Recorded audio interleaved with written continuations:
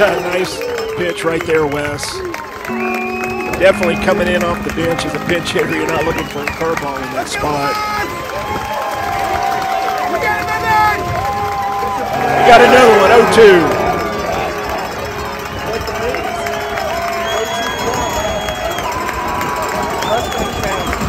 Mustang fans are going crazy.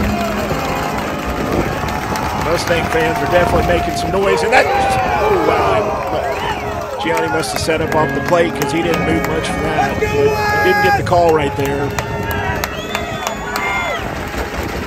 It's the one-two K. He struck him out. Had another K. Mustangs take game one, 2-1. Nice win right there. It was a nail biter, Trey, but we got it done, babe. So Mustangs uh, put up seven hits, two runs, just enough tonight to hold on for a 2-1 victory. And Wes, another great outing, seven innings, one run allowed, I believe six Ks on the night.